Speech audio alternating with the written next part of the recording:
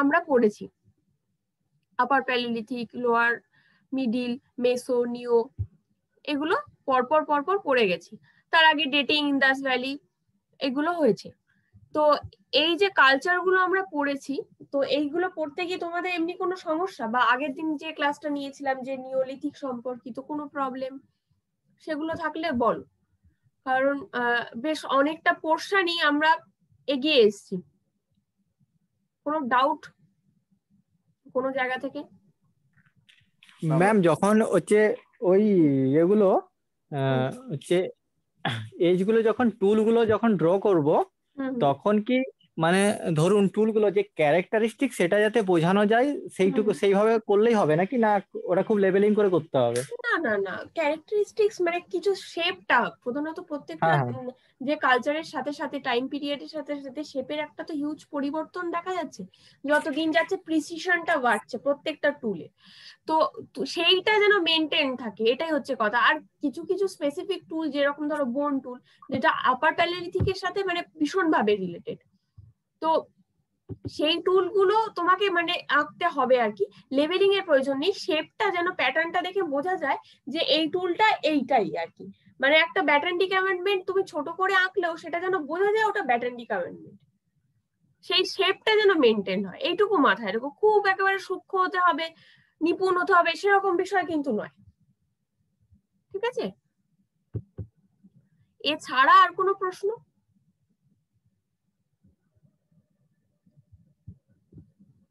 যে কোনো রকম তোমার নিওলিথিক থেকে বা আপার প্যালিলিথিক থেকে বা মেজো বা মিডিল যাই হোক যে কোনো কালচার থেকে কোনো কোয়েশ্চেন আছে কি? ম্যাম একটা বলব হ্যাঁ হ্যাঁ বলো। আপনি যে সেকেন্ড অ্যাসাইনমেন্টটা দিয়েছেন হোয়াট ইজ এথনো আর্কিওলজি হ্যাঁ হ্যাঁ। What is the difference between ethno archaeology and ethnographic analogy হুম হুম হুম হুম। এটা লিখতে পারছি না ম্যাম এটা যদি আপনি একটু পুরো দিতেন একটু ভালো হতো। মানে মানে বুঝতে পারছি পুরো ব্যাপারটা অসুবিধাটা তোমার লিখতে গিয়ে প্রবলেমের জায়গাটা কোথায়? সেটা যদি আমাকে একটু বলো। মানে কোথায় তোমার লিখতে অসুবিধা হচ্ছে?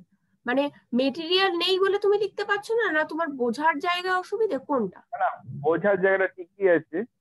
মেটেরিয়ালটা ঠিক আমি মানে ঠিক করতে পারছি না। মানে যেন কেনা বেজান মেটেরিয়াল থেকে কনভার্ট করতে পারছ না এটাই বলছো। যে আনসারে আসতে পারছ না। দেখো এথনো আর্কিওলজি জিনিসটা কি তুমি বুঝতে পেরেছ তো? হ্যাঁ ম্যাম পুরো বুঝে গেছি জিনিসটা বুঝে গেছি। এথনো আর্কিওলজি জিনিসটা কি সেটা লিখতে পারছ তো? হ্যাঁ ম্যাম এইবার তোমার আর একটা থাকল যেটা এথনোগ্রাফিক অ্যানালজি তো এথনোগ্রাফিটা কি? সেটা সেটা কি তোমার কাছে ক্লিয়ার হ্যাঁ ম্যাম ওটা তো কম্পেয়ার করা শুধু। না এথনোগ্রাফিটা কি? এথনো এথনো আর্কিওলজি তুমি ছেড়ে দাও। শুধু বলো তুমি এথনোগ্রাফি জিনিসটা কি? সেটা আমাকে বোঝাও। ডকুমেন্ট লিভিং ডকুমেন্ট না লিভিং ডকুমেন্ট আমি কখন এই লিভিং কথাটা ইউজ করছি? সেটা হচ্ছে আমি এথনো আর্কিওলজি যখন বলছি তখন আমি এই লিভিং আর্কিওলজি বলে এটাকে মেনশন করছি। কিন্তু এথনোগ্রাফিটা কি? এথনোগ্রাফিটা হচ্ছে রিটেন ডকুমেন্ট রিটেন ডকুমেন্টটা কিসের? না আমি একটা কমিউনিটিতে যাচ্ছি সেই কমিউনিটির তাদের লাইফস্টাইল তাদের স্ট্রাকচারাল প্যাটার্ন তাদের রিলিজিয়াস অ্যাক্টিভিটি সবকিছু তাদের পুরোটাই তাদের জীবনের সঙ্গে যা যা যা যা জড়িত সেইগুলোকে আমি লিখিত ডকুমেন্টেশন করছি একটা। সেইটা কিন্তু এথনোগ্রাফি এবার এই যে ডকুমেন্টেশনটা করছি ডকুমেন্টেশন থেকে আমি কিছু অ্যানালজি ড্র করছি। মানে তার থেকে কিছু অ্যানালজি নিচ্ছি। যেমন কি, যেমন ধরো, কোনো একটা কমিউনিটি তারা তাদের যে মেটেরিয়াল কালচারগুলো আছে, সেই মেটেরিয়াল কালচারের মধ্যে ধরো তাদের কোনো একটা ফিশিং এলিমেন্ট ধরো দেখা যাচ্ছে। মানে তাদের মধ্যে ধরো তীর ধনুক তারা কেউ কেউ ব্যবহার করে, কেউ কেউ আবার বর্ষা ব্যবহার করে টুল হিসেবে। কেউ কেউ তারপরে ধরো তোমার কি বলব, ছোট ছোট স্পিয়ার হেড বা স্পিয়ার থ্রোয়ার এই এই টুলগুলো ইউজ করে।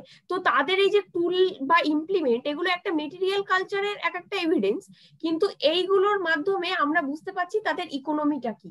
তারা কি ধরনের সাবসিস্টেন্স প্যাটার্নের সাথে জড়িত, সেইটা আমরা ধারণা করতে পারছি। এইটা হচ্ছে এথনোগ্রাফি অ্যানালজি এটা থেকে আমি একটা অ্যানালজি ড্র করছি। আমি তাদের মেটেরিয়াল কালচারগুলো অবজার্ভ করছি, আমি ডকুমেন্টেশন করছি যে হ্যাঁ আমি ডকুমেন্টেশন করে লিখছি যে হ্যাঁ তার এই কমিউনিটি এই এই মেটেরিয়াল কালচার বা এই এই টুলসগুলো ইউজ করে। তারপর আমি সেই ডকুমেন্টেশনের থেকে একটা মানে গন্তব্যে পৌঁছচ্ছি, সেটা হচ্ছে হ্যাঁ এইটা এরা ব্যবহার করে। ধরো ফিশিং নেট ইউজ করে। সেটাও তো একটা মেটেরিয়াল কালচারের পার্ট তো ফিশিং নেটটা আমার থেকে আমি কনক্লুশন ড্র করতে পারছি বা অ্যানালজি ড্র করতে পারছি যে এরা ফিশিং ইকোনমির সাথে জড়িত। এইটা হচ্ছে এথনোগ্রাফিক অ্যানালজি তুমি যখন লিখবে, তোমাকে এথনোগ্রাফি কি, সেই জিনিসটা এক্সপ্লেন করতে হবে। তারপর এথনোগ্রাফিক অ্যানালজিটা তারপরে বললে যে কীভাবে এর থেকে অ্যানালজি ড্র করা হচ্ছে, সেটা এথনোগ্রাফিক অ্যানালজি তো পার্থক্যটা কোথা হচ্ছে? এথনো আর্কিওলজি সেটাও এথনোগ্রাফিক নলেজ থেকেই আসছে বা লিভিং নলেজ থেকেই আসছে, কিন্তু সেখানে কোনো অ্যানালজি কিন্তু ড্র করা হচ্ছে না। সেখানে আর্কিওলজিক্যাল পার্সপেক্টিভে দেখা হচ্ছে, এখানে এথনোগ্রাফিক পার্সপেক্টিভে দেখা হচ্ছে শুধুমাত্র। এটাতেও এথনো আছে, দুটোতেই এথনো আছে, কিন্তু মানে রাস্তাটা এদের দুটোর আলাদা। একটা আর্কিওলজিক্যাল রাস্তা, একটা এর থেকে আরেকটা হচ্ছে সম্পূর্ণ এথনোগ্রাফির রাস্তা, যেটা সেখান থেকেই অ্যানালজিটা ড্র করা হচ্ছে। এটাই কিন্তু বেসিক পার্থক্য। বোঝাতে পারলাম? বুঝতে পারছি কিন্তু তাহলে তুমি তাহলে তুমি এক কাজ করো তুমি আর একবার একটু এটা লেখো লিখে আমাকে একটু পাঠাও। আমি দেখি অসুবিধাটা কোথায় দাঁড়াচ্ছে। ম্যাম হ্যাঁ বলো। বলছি এই যে নোট যে কোশ্চেনটা করেছে মানে যেটা ওর এটা হ্যাঁ। এটা লিখতে গেলে না প্রবলেম হচ্ছে। মানে ধরুন কনসেপ্টটা ক্লিয়ার হয়ে যাচ্ছে কিন্তু হ্যাঁ। যখন লিখছি না সেই থটটা আসছে না যে মানে কীভাবে লিখব কীভাবে রিপ্রেজেন্ট করব বা কীভাবে এটাকে মানে হ্যাঁ। বুঝতে পারছি জিনিসটা কি? কিন্তু যখন লিখতে যাচ্ছি না কোথাও গিয়ে একটা আটকাচ্ছে জিনিসটা। আমার মনে হচ্ছে যে তোমরা স্ট্রাকচারটা ফলো করতে পারছ না কোনোভাবে। আমি কিন্তু একটা মূল স্ট্রাকচার তোমাদের বলছি এই উত্তরটা লেখ পার্টিকুলার এই উত্তরটা লেখবার জন্য যে প্রথমে এথনো আর্কিওলজি একটা সাইডে রাখো প্রথমে এথনো আর্কিওলজিটাকেই ডিসক্রাইব করো। এথনো আর্কিওলজি জিনিসটা কি? সেটা তো তোমরা বুঝতে পেরেছ। এথনো আর্কিওলজির একটা ডেফিনেশন দাও। এথনো আর্কিওলজি জিনিসটা কি সেটা একটু এক্সপ্লেন করো। শুধু ডেফিনেশন দিলে হবে না। তারপর এটাকে লিভিং আর্কিওলজি কেন বলছি সেইটা একটু বলো। বলার পর ওই বুশম্যানের এক্সাম্পলটাকে ইউজ করো। সেটা লেখো। এটা গেল তোমার এথনো আর্কিওলজি পার্ট শেষ। এরপরে এথনোগ্রাফিক এথনোগ্রাফিক অ্যানালজি যেটা আসছে এথনোগ্রাফি কি? সেই জিনিসটা আগে এক্সপ্লেন করো। এথনোগ্রাফি কি? সেই জিনিসটা লেখার পরে তারপর এথনোগ্রাফি থেকে অ্যানালজিটা ড্র করা হচ্ছে, সেটা হচ্ছে এথনোগ্রাফিক অ্যানালজি এই বাক্যটা লেখো। তারপর একটা এক্সাম্পল দাও। আজকে আমি যে মেটেরিয়াল কালচার দিয়ে একটা এক্সাম্পল দিলাম, যে ইকোনমিটা কি করে আমি জানতে পারছি? ইকোনমিক প্যাটার্নটা কীভাবে জানতে পারছি? যে মেটেরিয়াল কালচার থেকে জানতে পারছি। এই এই জানাটা আমার কীভাবে হচ্ছে? বা এই কনক্লুশনটা আমি কীভাবে আসছি? বা এই অ্যানালজিটা আমি কীভাবে ড্র করছি? সেটা এথনোগ্রাফির থেকে ড্র করছি। এইটা লেখো। এক্সাম্পলটা তারপরে লেখো। প্রথমে এটা লেখো, তারপরে এটা লেখো। এটাই কিন্তু স্ট্রাকচার এটা আর কিন্তু কিচ্ছু নেই। তোমাকে লিখতে হবে জিনিসটা কি, তারপরে তার এক্সাম্পল দিতে হবে। তাহলেই কিন্তু তুমি ডিফারেন্সিয়েট করে ফেলতে পারছ, পরিষ্কার ছবি। এটা লিখতে হবে, না লিখলে কিন্তু হবে না। তোমরা এক কাজ করো, তোমরা শুধু শুধু এই কোয়েশ্চেনটা লেখো, একবার। একবার লেখো।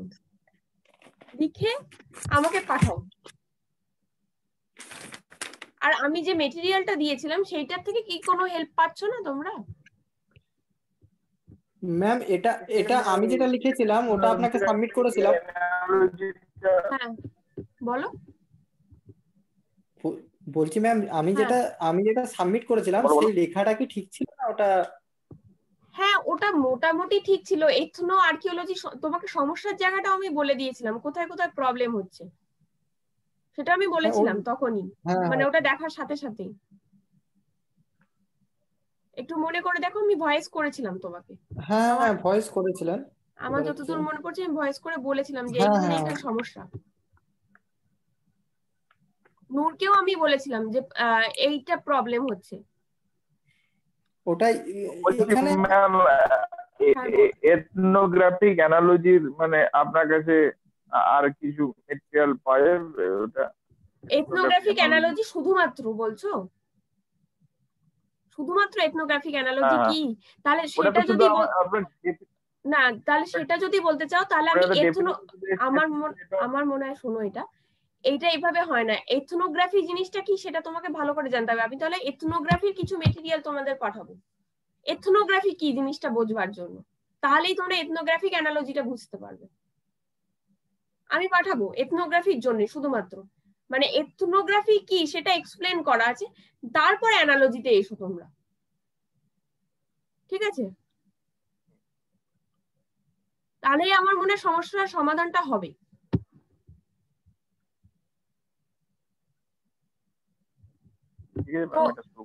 হ্যাঁ বলো। হ্যাঁ ঠিক আছে। ঠিক আছে তো আর কোনো সমস্যা এটা ছাড়া? কালচার আর যে কালচারাল পিরিয়ডগুলো বা কিছু বুঝবার সমস্যা? না না এখন পর্যন্ত আমার আচ্ছা আচ্ছা। বেশ। তো আজকে আমাদের আর একজন জয়েন করেছে নতুন। তো যেটা হয় আর কি তো তুমি তোমার নামটা একটু বলবে যে নতুন আজকে জয়েন করেছ?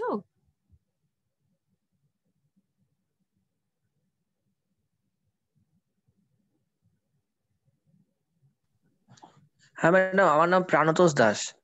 আচ্ছা তো তুমি যেটা করবে তুমি নতুন অ্যাডমিশন নিচ্ছ মেবি তো স্যার আমাকে যেটা বললেন। তো তুমি একটু প্রিভিয়াস ক্লাসগুলো ফলো করো ঠিক আছে? এটা কত নম্বর ক্লাস হচ্ছে ম্যাডাম হ্যাঁ? এটা কত নম্বর ক্লাস চলছে? এক্স্যাক্টলি আমার নাম্বারটা তো মনে নেই কারণ এটা নভেম্বর থেকে স্টার্ট হয়েছে তো উইকে দুদিন করে আমি মোটামুটি ক্লাস নেই। স্যাটারডে তো ফিক্স নেই এছাড়াও এক্সট্রা একটা ক্লাস নেই আর কি। তো আমরা এখন যেটা পড়ছি আর কি আমরা আর্কিওলজি কন্টিনিউ করছি, ঠিক আছে? আমরা প্রথম অ্যান্থ্রোপোলজি ব্রাঞ্চেসগুলো দিয়ে স্টার্ট করেছিলাম। তারপরে আর, তারপরে মেজর ব্রাঞ্চেসগুলো একটু জেনে ইন্ট্রোডাকশনটা একটু জেনে আমরা আর্কিওলজিতে ঢুকে গেছি। আর্কিওলজি ঢুকে গিয়ে আমরা যেটা করেছি সেটা হচ্ছে আমরা একদম টেন ইয়ার্স কোয়েশ্চেন ধরে আমরা সিলেবাসটাকে কভার করছি। তো আমরা প্রথমে ইন্ডাস ভ্যালি শেষ করেছি ডেটিং শেষ করেছি। এরপর আর্কিওলজিক্যাল ব্রাঞ্চেস এর মধ্যে যেটা মূল, প্রধানত আসে ইথনো আর্কিওলজি সেই জায়গাটা শেষ করেছি, যেটা নিয়ে এতক্ষণ ডিসকাশন হচ্ছিল। সেটা শেষ করেছি। তারপরে কালচার গুলোকে শেষ করেছি আমরা। মানে আপার লোয়ার মিডিল পরপর মেসোনিও ইন্ডিয়াকে ফোকাস করে সেই দিকটা শেষ হয়েছে। তো আজকে যেটা পড়ব আমরা সেটা আমরা এবার ধীরে ধীরে ম্যানের দিকে চলে যাব যেটা প্যালিওলিথিক ফসিল ম্যানস যেগুলো আছে পরপর সেইগুলো একটা একটা করে আর কি পড়ব। এইভাবে আমরা এগোচ্ছি ঠিক আছে?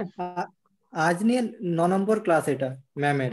আচ্ছা হ্যাঁ তাহলে তাই হবে ন নম্বর ক্লাস। ম্যাডাম তাহলে পেপার ওয়ানের এখানে যেটা চ্যাপ্টার ওয়াইজ দেখা আছে প্রথমে ইন্ট্রোডাকশন আছে তবে হিউম্যান ইভলিউশন আছে তবে হিউম্যান জেনেটিক্স আছে আপনি কোনটা ধরেছেন? আমরা ওইভাবে ক্লাস করছি না আমরা যেটা করছি আমি আর্কিওলজি আর বায়োলজির পার্টটা পড়াই।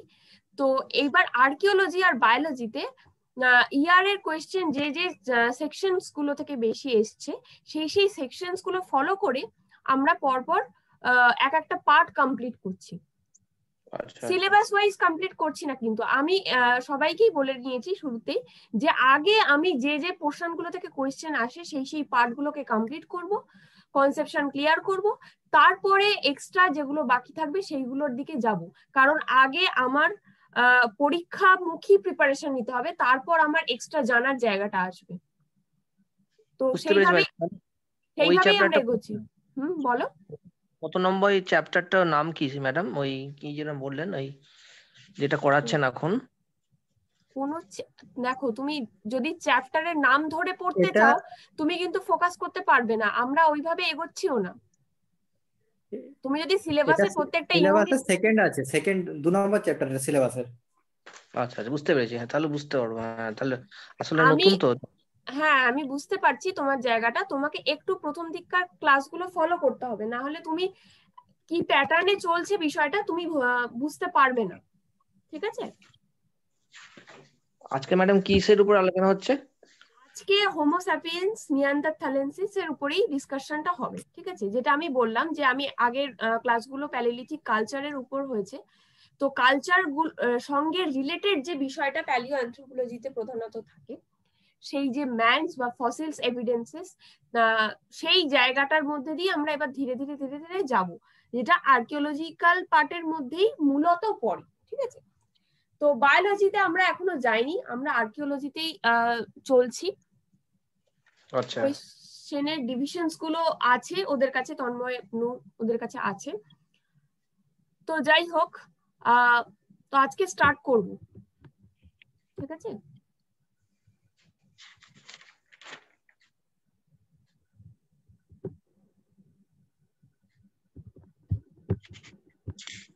তো হোমো স্যাপিয়েন্স নিয়ারদার থালেন্সিস এই নিয়ান্দার থালম্যান এইটা বেসিক্যালি তোমরা অনেক জায়গায় শুনে থাকবে, অনেক সময়ে শুনে থাকবে, কারণ এই নামটা বহু চর্চিত একটা নাম নিয়ান্দার থালস তো নিয়ান্দার থালস নিয়ে চর্চার অনেকগুলো কারণ আছে। কারণ এই যে আমরা হোমোস্যাপিয়েন্স স্যাপিয়েন্স তো আমরা এইটা হওয়ার পিছনে একটা দীর্ঘ ইতিহাস আছে, দীর্ঘ একটা ইভলিউশনের ইতিহাস আছে। সেটা তাদের পরিবর্তন ক্রম পরিবর্তন এবং তাদের বিভিন্ন রকম biological changes cultural changes environmental changes sociological changes অনেক রকম পরিবর্তনের মধ্যে দিয়ে কিন্তু মানুষ হোমোস্যাপিয়েন্স স্যাপিয়েন্স এই জায়গাটা, এই স্ট্যাটাসটায় এসছে। তো এই আসতে গিয়ে বিভিন্ন পর্যায়ে আমরা পার করে এসছি, কিন্তু একটা পর্যায় হচ্ছে হোমোস্যাপিয়েন্স নিয়ান্তারথালেন্সিস আমরা, আমি যখন মুস্তেরিয়ান কালচার পড়িয়েছিলাম বা মিডিল প্যালিলিথিক কালচার যেটা আমি মূলত বলেছিলাম, এবং সেটা পড়াতে গিয়ে আমি তোমাদের বলেছিলাম, এই মুস্তেরিয়ান কালচার বা মিডিল প্যালিলিথিক কালচার মূলত যেটা, তার সাথে রিলেটেড যে ম্যান বা অথার যেটা আমি বলেছিলাম, সেটা বলেছিলাম নিয়ান্দার থাল মনে করে দেখো। তো সেই পিরিয়ডের অথার এবার তাদের সম্পর্কে জানব। মানে সেই নিয়ান্দার থাল সম্পর্কে আমরা ডিটেলে জানব এবার। এইবার এর পুরো নামটা কি দাঁড়াচ্ছে? হোমো স্যাপিয়েন্স নিয়ান্দার থালেন্সিস মানে হোমো স্যাপিয়েন্স তারপর নিয়ান্ডারথ্যালেসিস এইটা কিন্তু অর্ডার বা তোমরা যদি শ্রেণীবিন্যাস করে থাকো বেসিক্যালি ক্লাসিফিকেশন তার যে family sub family order sub order এইভাবে যে থাকে, তো সেইটাই হচ্ছে এর, এইটা হচ্ছে পুরো তার সাইন্টিফিক নেম তো এরপর যেটা যাব আর কি, এবার ধীরে ধীরে এই হোমো মানে নিয়ান্ডারথাল সম্পর্কে আমরা এক্সপ্লোর করব। তো আমি এটা যেটা একটু আগেই বললাম যে এটা মিডিল প্যালিলিথিকের সাথে রিলেটেড পুরোপুরি। মিডিল প্যালিলিথিক মানে মুস্তেরিয়ান কালচার। সেই মুস্তেরিয়ান কালচারের সাথে কালচারের অথার কিন্তু নিয়ান্দার থাল। তো প্লিস্টোসিন পিরিয়ডের মিডিল প্যালিলিথিক যে সময়টা, তার যে শেষের ভাগটা, শুরুর ভাগটা নয়, প্রায় শেষের ভাগটা এরকম একটা সময় এবং আপার প্যালিলিথিকের শুরু, এরকম একটা সময়। মিডিলের শেষ এবং আপারের শুরু, এই টাইম রেঞ্জের মধ্যে কিন্তু এই নিয়ান্ডারথাল ম্যান বা হোমোস্যাপিয়েন্স নিয়ান্ডারথালেন্সিসের একটা আবির্ভাব ঘটেছিল। এই সময়টা তাদের তাদের যে হিউজ এভিডেন্সেসগুলো বা এই টাইম পিরিয়ডের মধ্যে কিন্তু পাওয়া গেছিল। তো এটা হোমোস্যাপ মানে নিয়ান্ডারথাল ম্যান একে প্রথমেই যেটা বলা হচ্ছে, দেখো হোমোস্যাপিয়েন্স মানে হোমো স্যাপিয়েন্স যেটা মানুষ এখন ইভলভ হিউম্যান তার সাথে এর কিন্তু অনেক সিমিলারিটিস রয়েছে। অনেক সিমিলার অনেক বেশি এরা আপগ্রেডেড অন্য, অন্যদের থেকে। তো তাই জন্যই কিন্তু এদের এই স্ট্যাটাসটা দেওয়া হয়েছে। এবং এই যে টাইম পিরিয়ডটা তোমরা দেখছ, খুব গুরুত্বপূর্ণ একটা সময় যেটা মিডিল প্যালিলি থেকে শেষ এবং আপার প্যালিলি থেকে শুরু, এই টাইম পিরিয়ডটা এখানে এই সময় কত টুল ইভলভ হয়েছিল? নতুন নতুন টুল দেখতে পাওয়া গেছিল এবং তাদের প্রিসিশন অনেক বেড়ে গেছিল। এদের মধ্যে কালচারাল কিছু অ্যাক্টিভিটিস দেখতে পাওয়া গেছিল। আপার প্যালিলি থেকে তোমরা দেখেছ যে কত রকম art rock art cave art যেগুলো দেখা গেছিল, তার ভীষণ একটা উন্নতি ঘটেছিল আর কি। মানে তখনই দেখা যাচ্ছে ইভলভ তখনই করছে, এরকম একটা সময়। তো এতটা ইভলভ একটা কালচার যখন হচ্ছে, তার পিছনে যিনি আছেন মানে যে যে ম্যান আছে, সেও নিশ্চয়ই যথেষ্ট ইভলভ নাহলে এটা হওয়াটা তো পসিবল নয়। আমার লেখা যখন ভালো হবে, তার লেখনির পিছনে দায়টা কি থাকবে? লেখকই থাকবে। লেখকই ভালো লিখলে তবেই তো একটা লেখা ভালো হয়। ব্যাপারটা হচ্ছে সেরকম।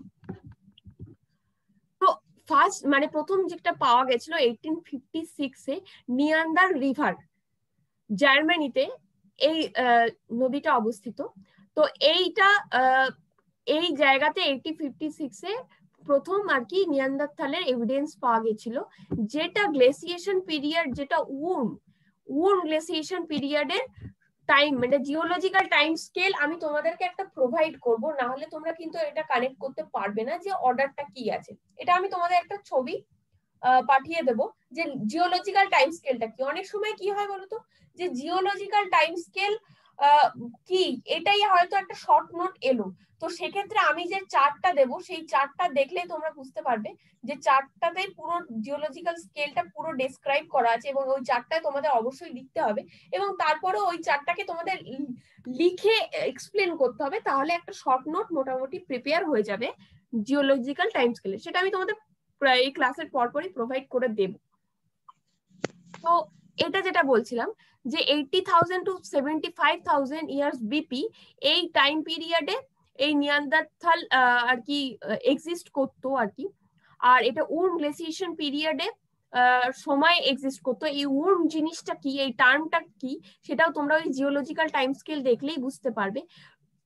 রিস, মেন্ডেল গুঞ্জ এরকম উর্ম এরকম ভাবে জিওলজিক্যাল টাইম স্কেলটাকে ভাগ করা হয়েছে বা গ্লেসিয়েশন পিরিয়ড গুলোকে ভাগ করা হয়েছে। আমি আইসেজের কথা বলেছিলাম তোমাদের মনে আছে? যে আমি যখন নিওলিথিক রেভলিউশন পড়াচ্ছিলাম তখন তোমাদের তার আগে আইসেজের কথা মেনশন করেছিলাম। খেয়াল করতে পারছ কি? হ্যাঁ ম্যাম হ্যাঁ তো আইস এজের যে টাইম পিরিয়ডটা সেইটাকে গ্লেসিয়েশন বলে বেসিক্যালি তো গ্লেসিয়েশন পিরিয়ডটাকে এই বিভিন্ন ভাগে ভাগ করা হয়। উর্ম রিস মিন্ডেল এরকম নাম দিয়ে তাকে ডিভাইড করা হয়।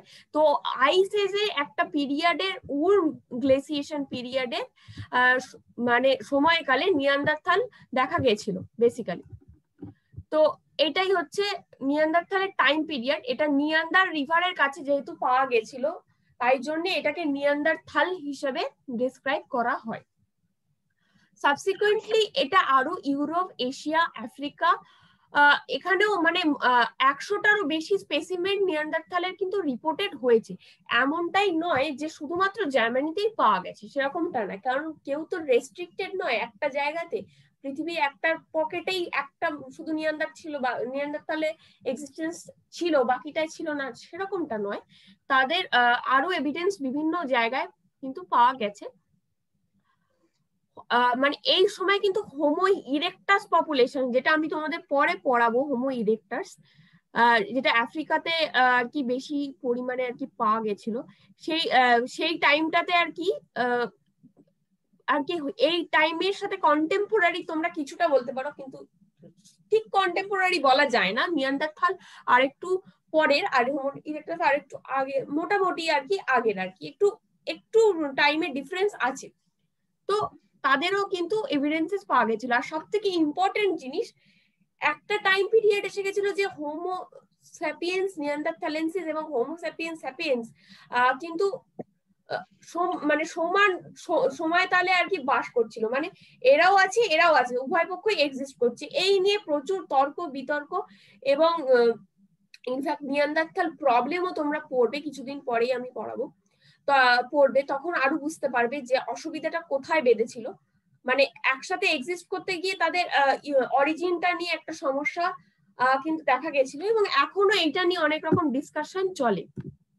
এটা হচ্ছে মানে অনেকে বলে এটা নিয়ান্দারথাল প্রথমে একটা কনসিডার্ড হয়েছিল যে এটা একটা ট্রানজিশনাল ফসিল গ্রুপ আর কি বা ইন্টারমিডিয়েট ফসিল গ্রুপ হিসাবে কনসিডার্ড হয়েছিল মানে কনসিডার করা হয়েছিল যে ইরেকটাস তারপরে এই নিয়ান্দারথালেন্সিস তারপরে হোমোস্যাপিয়েন্স স্যাপিয়েন্স তো এই একটা ডেজিগনেশন প্রথমে দেওয়া হয়েছিল। তো আরেকটা খুব ইম্পর্টেন্ট ডেজিগনেশন হচ্ছে, এদের নাম হচ্ছে হচ্ছে আর্কাইক হোমোস্যাপিয়েন্স তোমাদের যে কোয়েশ্চেন আসে, সেখানে কিন্তু আর্কাইক হোমোস্যাপিয়েন্স হিসেবেও এটাকে ডেসক্রাইব করা হয়। কোয়েশ্চেনে যদি এই টার্মটা দিয়ে দেয়, তখন কিন্তু ঘাবড়ে যেও না। তখন এই টার্মটা দেওয়া মানে কিন্তু এটা নিয়ান্দারথালের কথাই বলছে, এই কথাটা মাথায় রেখো। ঠিক আছে? কেউ যদি বলে দেয় যে নিয়ান্দারথাল, এই স্ট্রেট ফরওয়ার্ড এই কথাটা না বলে হোমো মানে আর্কাইক এই টার্মটা দিয়ে দেয় আর্কাইক হোমোস্যাপিয়েন্স দিয়ে দেয় তাহলে কিন্তু এরই মরফোলজিক্যাল ফিচার লিখতে হবে বা এরই অ্যানাটমিক্যাল ফিচার্স লিখতে হবে। এটা মাথায় রেখো। আর একটা ব্যাপার হচ্ছে ম্যাডাম দেখছিলাম একটা কোশ্চেন এসছে। এই একটু প্রিভিয়াস ইয়ার্স দেখছিলাম। হ্যাঁ। চৌদ্দ সালে এসছে সেটা রাইট ডাউন আপনি যেটা বলছিলেন। Write down your idea about archaic homo sapien exactly এইটার জন্যই আমি এই টার্মটা বলে দিলাম যাতে তোমরা এই বিষয়গুলো বুঝতে পারো, ঠিক আছে? আমি ওইভাবেই ডিসকাস করছি যে যে বিষয়গুলোর উপর কোয়েশ্চেন এসছে। তাহলে তোমাকে গোড়াতেই আমি বলে নিলাম যেটা, যে আমি কোয়েশ্চেন ধরেই কিন্তু সিলেবাসটা এগোচ্ছি। ওর বাইরে কিন্তু যাচ্ছি না। সিলেবাসটা হিউজ তো বিষয়টা যেটা আমি বলছিলাম, যে এই টার্মটা খুব ইম্পর্টেন্ট একটা টার্ম শর্ট নোট আসুক, বড় কোয়েশ্চেন আসুক, যাই আসুক তোমরা কিন্তু টার্মগুলো মানে ভুলে যাবে না, টার্মগুলোকে মাথায় রাখবে, তাহলেই কিন্তু অ্যাটেন্ড করতে পারবে। আর একটা বিষয়, তোমাদের যেরকম কালচার পড়াতে গিয়ে আমি বলেছিলাম যে অর্ডারটা ফলো করবে, প্রথমে প্রথমে একটা অর্ডার অর্ডার যেটা বলেছিলাম যে এটা কোন পিরিয়ড থেকে কোন পিরিয়ড তার ক্রোনোলজিটা কি আছে, তারপর টুল টাইপোলজিটা কি আছে, এই অর্ডারটা যেটা বলেছিলাম, যেটা কালচারের ক্ষেত্রে বলেছিলাম ফলো করবে কোন রকম ম্যান মানে সেটা হোমো ইরেক্টাস হতে পারে নিয়ান্ডারথালেন্সিস হতে পারে অস্ট্রেলোপিথেকাস হতে পারে, যাই হোক না কেন, এইগুলো লেখবার সময়, এরও কিন্তু একটা অর্ডার আছে। অর্ডারটা কি? অর্ডারটা হচ্ছে, প্রথমে এটার কোথায় কোথায় পাওয়া গেছিল? মানে ডিসকভারিজ কোন কোন জায়গায় এইটা পাওয়া গেছিল? সেটা একটা।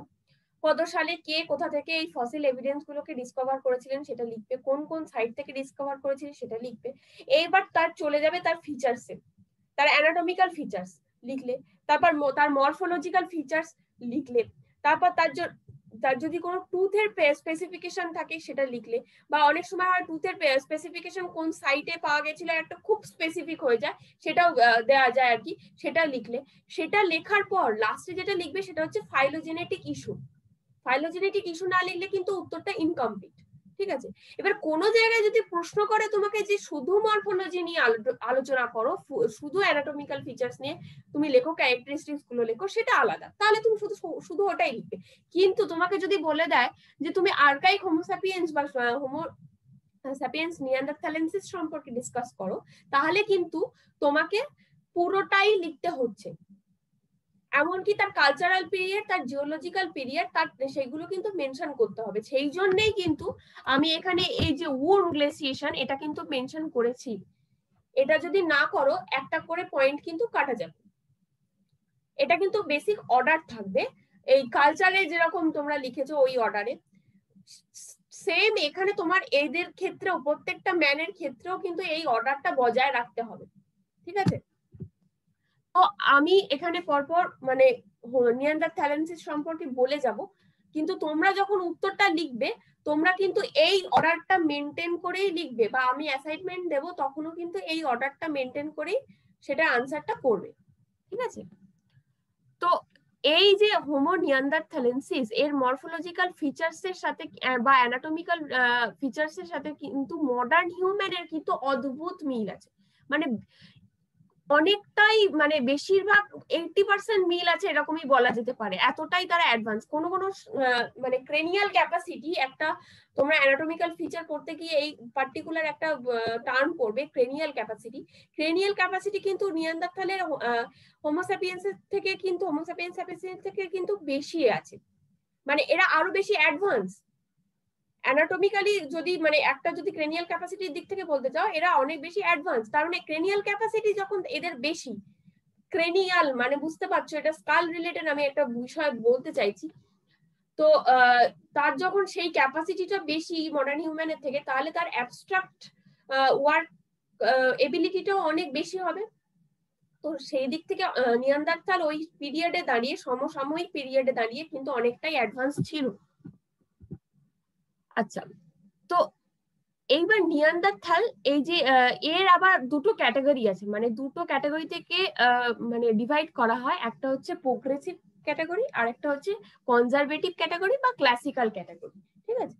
তো কনজারভেটিভ টাইপ যেটা, সেটা মোস্টলি সাউথ ওয়েস্টার্ন ইউরোপের মধ্যেই রেস্ট্রিক্টেড মানে ওই দিকটাতেই এই মানে বেশি দেখা যায় এই কনজারভেটিভ ক্যাটাগরিটা বা ক্লাসিক্যাল মানে ক্লাসিক্যাল নিয়ান্দারথাল আর প্রোগ্রেসিভ নিয়ান্দারথাল এই অনেক সময় এর ডিফারেন্সও আসে, এর দুটোর মধ্যে ডিফারেন্স লেখো।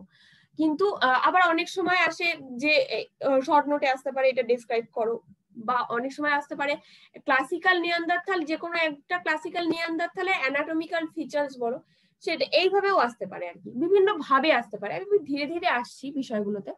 তো, আর আর একদিকে যে প্রোগ্রেসিভ যে ভ্যারাইটিটা সেটা আবার বেশি ইস্টার্ন ইউরোপের দিকে বেশি আর কি পাওয়া যেত এবং ওয়েস্টার্ন এশিয়াতেও পাওয়া গেছে ওয়েস্টার্ন ইউরোপেও কিছুটা পাওয়া গেছে, কিন্তু মূলত ইস্টার্ন ইউরোপে এটা বেশি কনসেন্ট্রেটেড ছিল মানে প্রোগ্রেসিভ নিয়ান্ডারথাল যে ভ্যারাইটিটা আচ্ছা এইবার যেটা দেখা গেছে যে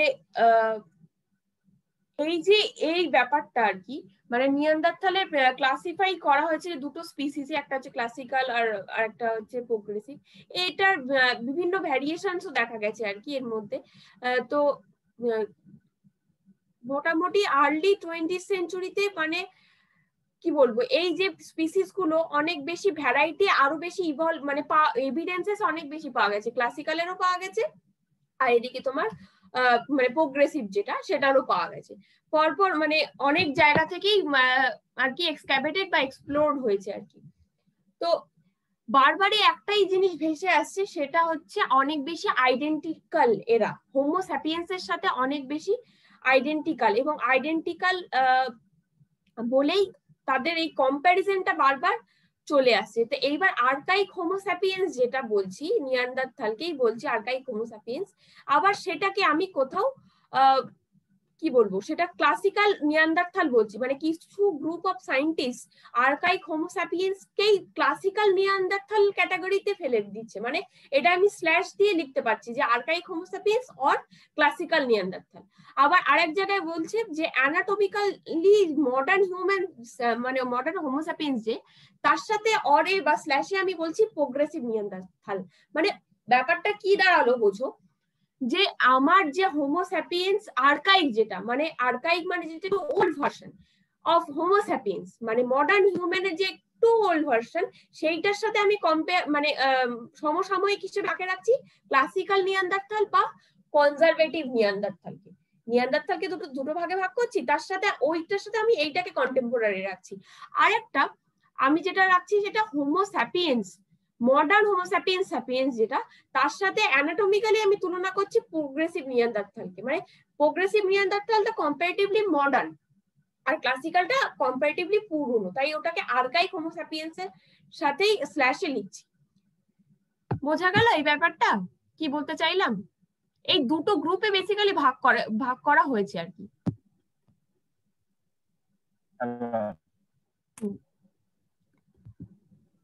তো archaic homo sapiens or classical Neanderthal বা কনজারভেটিভ নিয়ান্ডারথাল যেটা বলছি আমরা, সেটা মূলত ওই ডেট করে যে ফসিল এভিডেন্সগুলো পাওয়া গেছে, সেগুলো ডেট করে মোটামুটি two hundred years to thirty two thousand আর কি বিপি এই রেঞ্জের মধ্যে কিন্তু এই ডেটিং পিরিয়ডটা পাওয়া গেছে।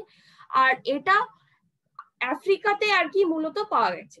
আফ্রিকার মানে আর্কাইক হোমোস্যাপিয়েন্স মোটামুটি যেটা পাওয়া গেছে নাম্বার অফ সাইজ আফ্রিকাতেই বেশি, আফ্রিকাতে আছে, এছাড়া ইউরোপেও আছে, এশিয়াতেও আছে, কিন্তু মূলত আফ্রিকা আর কি।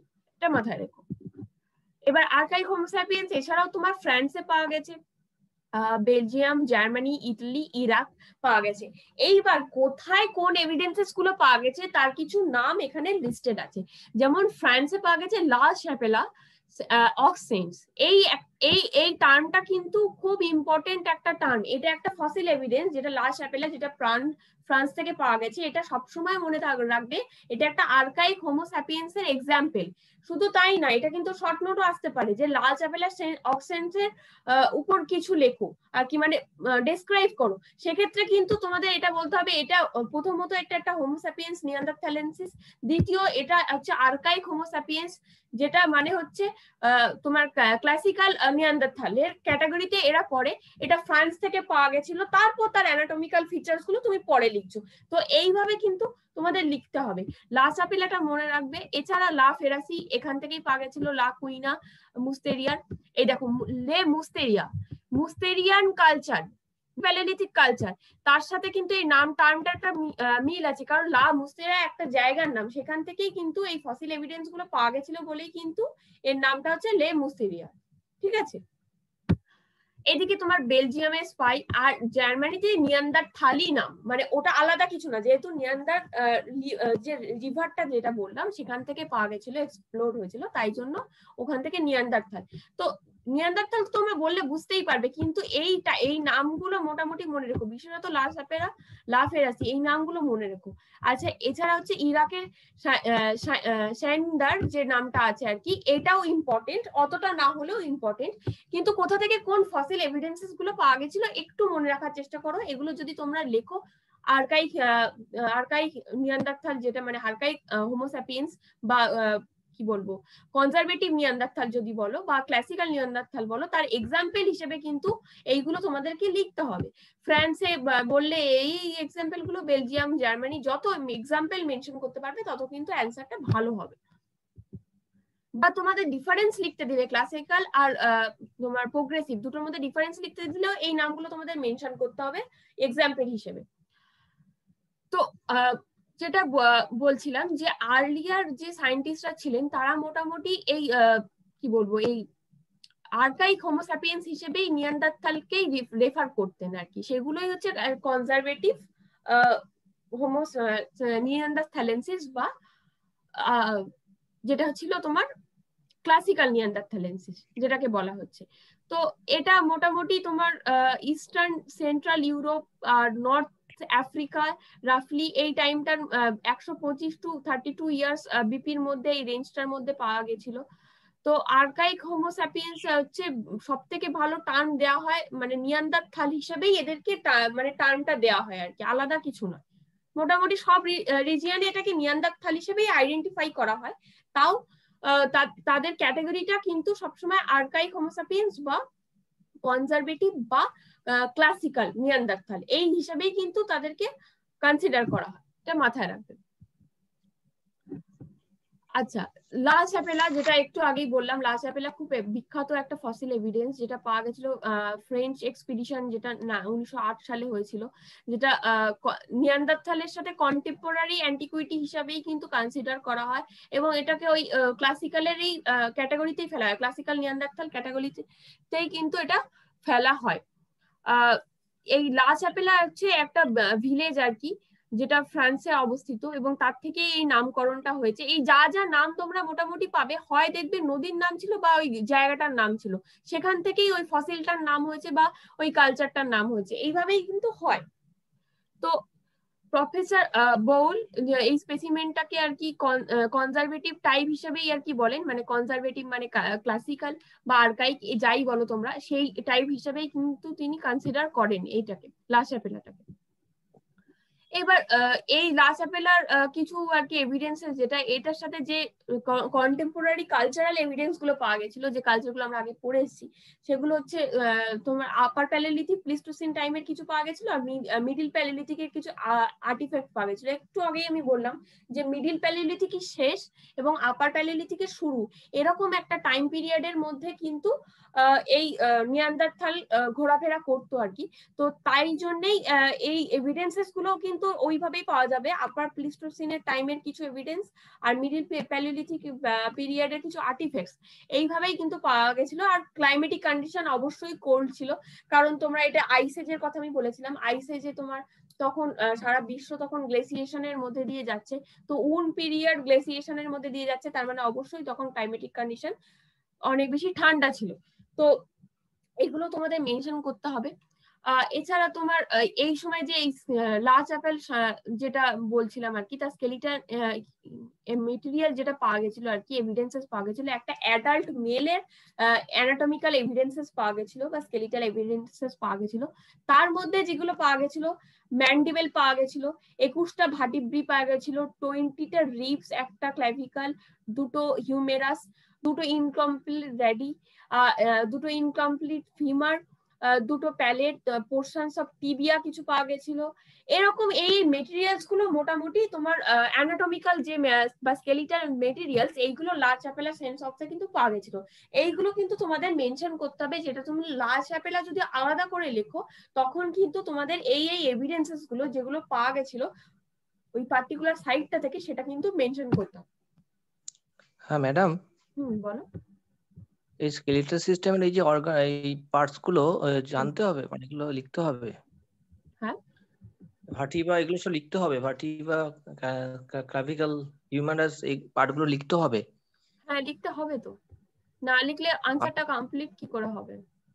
মানে এই এই এই এভিডেন্সেসগুলো যে পাওয়া গেছিল সেটা তো তোমায় মেনশন করতে হবে।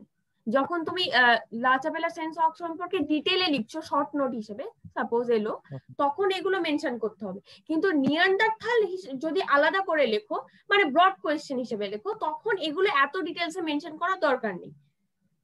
ঠিক আছে? উত্তর মানে কিন্তু তোমাকে বুঝে লিখতে হবে যে আমি কোন জায়গায় কোনটা লিখব সব জায়গায় কিন্তু সবটা লিখবার প্রয়োজন নেই। ঠিক ঠিক ঠিক। ম্যাডাম এইটা জানার জন্য কি স্কেলেটাল সিস্টেমটা আগে হয়ে গেছে? না স্কেলিটাল সিস্টেম আমি এখনও পড়াইনি। ওটা আমি বায়োলজিক্যাল অ্যানথ্রোপোলজি যখন পড়াবো তখন ওটা মেনশন করব। এখনই ওটার উপর এমফাসিস দিচ্ছি না আমি।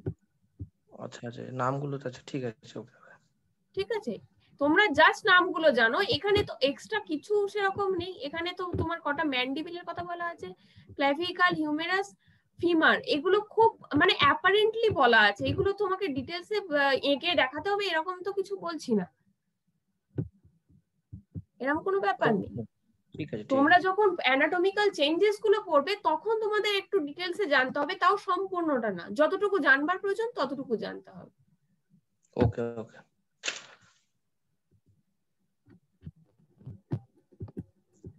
আচ্ছা তো এইটা তোমাদের এইগুলো লা চ্যাপেলা সেন্স অফ যখন মেনশন করবে তখন এই জায়গাটা এই জায়গাগুলো একটু মেনশন করে দেবে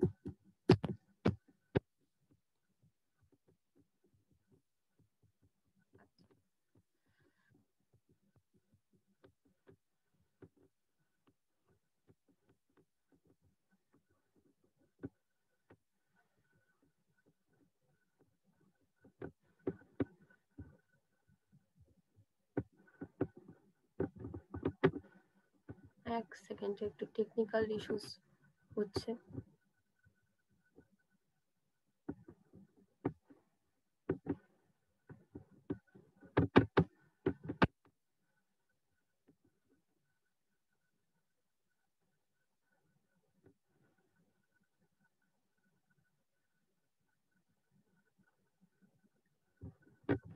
হ্যাঁ তো নেক্সট যেটা যাচ্ছে হ্যাঁ তো এবার যেটা হচ্ছে যে এই কনজারভেটিভ টাইপের যে ভ্যারাইটিটা বা ক্লাসিক্যাল ভ্যারাইটিটা তো এটা মোটামুটি এনভায়রনমেন্টাল কন্ডিশনটা তোমাদের আমি বললাম যে কোন সময়টা এরা এক্সিস্ট করতো মোটামুটি।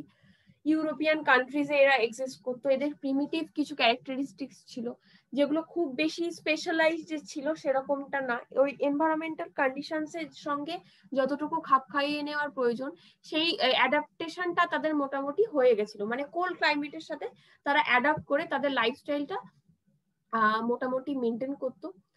তো এটা হচ্ছে একটা ব্যাপার। মানে এটা কিন্তু এমন একটা টাইম যে টাইমটা ইভলিউশনটা ধীরে ধীরে শুরু হতে শুরু করেছে আর কি মানে একটা হিউজ চেঞ্জ যেটা আমি তোমাদের কালচার দিয়ে বলেছিলাম যে আপার প্যালিথিকের পরে কিন্তু বেজনীয় সেই ব্যাপারটা আসছে। নিওলিথিকে যে একটা রেভলিউশন হয়ে গেছিল, এই ব্যাপারটা সেই তার একটা যদি সূত্রপাত আমি বলি, তাহলে এই টাইম পিরিয়ডটা তার একটা সূত্রপাতই ছিল আর কি, বলা যেতে পারে।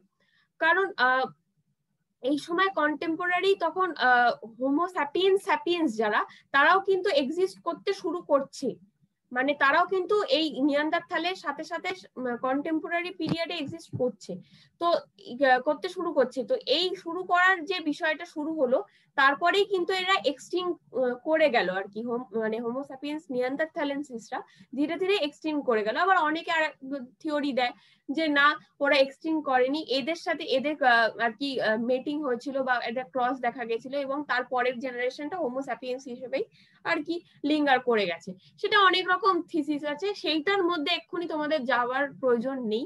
তোমরা এই ক্যারেক্টারিস্টিক্সগুলো জানো, কোনটা ক্লাসিক্যাল কোনটা তোমার হচ্ছে মানে কনজারভেটিভ ক্লাসিক্যাল সেমি হলো, কোনটা মডার্ন কোনটা ক্লাসিক্যাল এই পার্থক্যগুলো জানো। আবার কোনটার এক্সাম্পল কোনটা, কোথায় পাওয়া গেছিল, কি কি সাইটসে পাওয়া গেছিল, কবে পাওয়া গেছিল, আর তার বিভিন্ন স্কেলিটাল রিমেন্সগুলো একটু জানা দরকার। এখানে দেখো তোমার ক্লাসিক্যাল নিয়ান্দারথালের স্কালের একটা এখানে কিন্তু ছবি দেওয়া আছে। এটা দেখতে, দেখে মনে হচ্ছে না অনেকটা যেটা মডার্ন হিউম্যানের সাথে অনেকটাই মিল আছে? মানে একটা হিউজ লেভেল অফ মিল যেটা বলা যায় আর কি। অনেকটাই আছে। দেখো, আমাদের যে মডার্ন হোমোস্যাপিয়েন্স স্যাপিয়েন্সের স্কালটা তার সাথে কি খুব একটা ডিফারেন্স কিছু দেখতে পাচ্ছ? মানে শেপের দিক থেকে? আমি যদি একটা গরিলা স্কালের সাথে কম্পেয়ার করি আর স্কালে, তাহলে কিন্তু অনেক পার্থক্য দেখা যাবে। কিন্তু আমি যদি একটা মডার্ন হিউম্যান বা মডার্ন স্যাপিয়েন্সের স্কালের সাথে এই নিয়ান্ডারথালের স্কালের কম্পেয়ার করি, তাহলে আমি, আমার মনে হয় না আমি মানে এমনি নর্মাল বুদ্ধি দিয়ে খুব একটা কিছু করতে পারব। তোমাদের কি মনে হয় ছবিটা দেখে?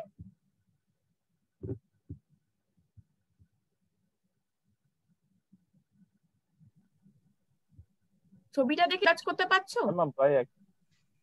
না না সেরকম অত আইডিয়া নেই আমাদের। সেরকম লেভেলে আমরা পৌঁছাইনি। না না আমি সেটা বলছি না। আমি জাস্ট এটাই বলতে চাইছি যে হোমো মানে মডার্ন হিউম্যান বা আমরা বর্তমানে যে হিউম্যান যেটা আমাদের স্কালটা নিয়ে যদি আমি কম্পেয়ার করতে বসি আর কি হ্যাঁ। এই তার সাথে তাহলে অ্যাপারেন্টলি আমরা খুব কিছু অমিল হয়তো অনেকটাই মিল আছে। মানে অনেকটাই এটাই আমি বলতে না না না। এটাই হ্যাঁ, আমি বলতে চাইছি। করটির মিলটা অনেকটাই আছে। হ্যাঁ এটাই আমার বক্তব্য। তো এই রকম মানে যখন স্কালের এতটা মিল থাকে তার মানে তাদের তারা কতটা ইভলভ করে গেছিল তার জন্য তাদের মানে ক্রেনিয়াল যে এই ফিচার্সগুলো এতটাই মিল দেখা গেছিল আর কি। এটা কিন্তু একটা ক্লাসিক্যাল নিয়ান্দারথালের একটা আর কি কি বলব? স্কাল।